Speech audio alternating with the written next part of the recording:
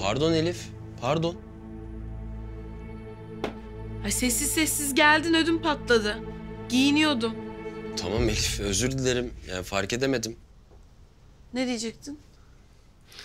Ya şu Naci Bey diyorum artık biz değiştirelim. Seni başka bir doktora götürelim. Yani Naci Bey hem annemin nişanlısı artık hem de senin doktorun yani. Olmuyor böyle bir tuhaf yani. Ben Naci Bey'i falan değiştiremem Can.